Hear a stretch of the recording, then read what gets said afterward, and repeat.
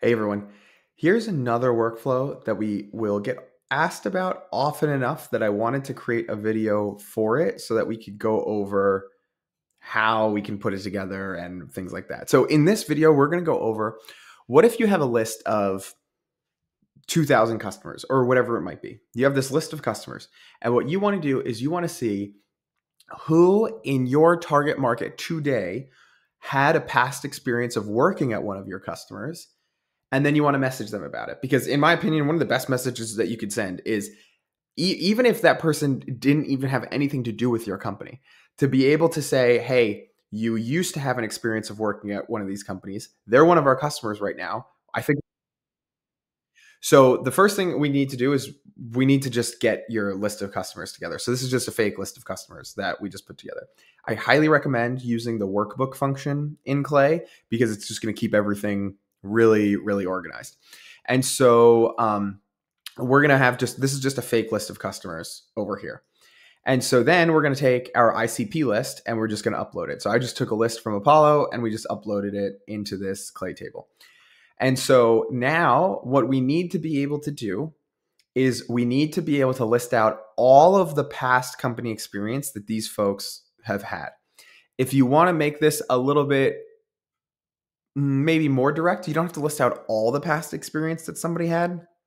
You could just list out the most recent experience instead, whichever one that you'd want to do. It's a little bit easier to do the most recent experience. So I'm not going to go over that. I'm going to go over all of the experience.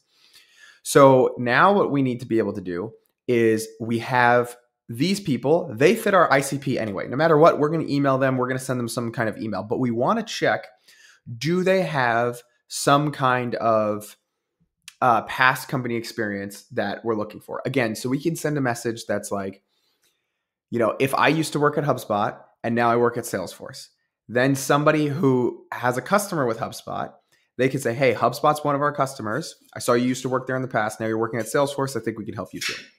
Basically, what we're going for here, right? So now we upload this, and then again, we're just going to filter and we're going to look for anything that is not their current experience and we're going to use write to table over here to just write all of the past experience of these people to another table, which that's going to look like this over here. And so as you can see, we've just written everybody's past experience over to this table. And then what we're doing is we're doing a lookup on that table. Now this is taking forever. Before the video, I accidentally hit requeue, so we'll see if it loads, but everything, you'll still be able to visualize everything. So then what it's doing is it's looking up from this table, it's looking up in the fake list of customers, is there a domain that's similar? And so you always want to normalize the URLs. We normalize them over here and you want to use an exact match search. So it will take www.uber.com and just turn it to uber.com as well as taking anything over here and just forcing it to get normalized as well too. And so then what we'll do is we'll do a lookup and then it will fill in this field here of a confirmation of there being a lookup, which then we can go enrich this. Well, we don't actually have to enrich this person. We're going to write, I just put that in here. Then we can write this to another table in order to continue our workflow. Again, this is a little frozen and I'm just running out of time in the day to be able to, to do this. But so uh, essentially this is how this workflow works. Again, step one, take a list of your customers and normalize their URLs. Step two, upload your list of people you're going to email anyway and enrich them so that you can get all of their past uh, company experiences. Push those to a new table so you can use your lookup record.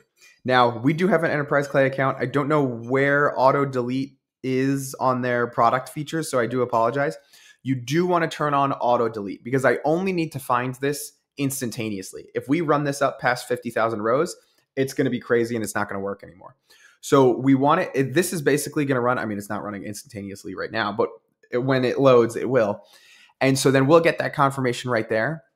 And then we'll be able to instantly take that data and then just push it to the next part of our workflow where we'll validate the email and do whatever else we're going to do, write our messaging and all those things, push it to Smart Leader instantly, and it's all going to get taken care of over there.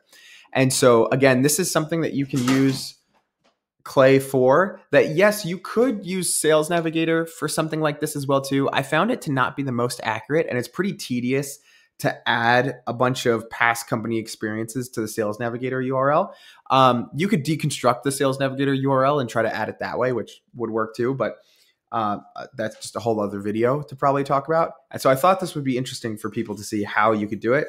Again, I know I talk fast. Just last time, step one, take your fake list of customers. Step two, upload your ICP list and get all of their past company experience mapped out and written to a different table so that you can do a lookup and see if any of the domains match your fake list of customers and then push those to the next part of your workflow so you can validate emails and do all those kinds of things.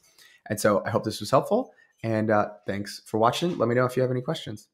Oh, and if you want this template, I'll try to share the template, but if if there's nothing shared as a template, let's see this. I'm just not sure if I share this, if it's going to be the whole workbook or something, and you really need the whole workbook tied together. So I'm not sure if it's really worth sharing. So if there's no share, then it's not really worth sharing. You're going to have to build it yourself. So I apologize about that, but it's super easy with filter list objects and everything. So as always, thanks for watching.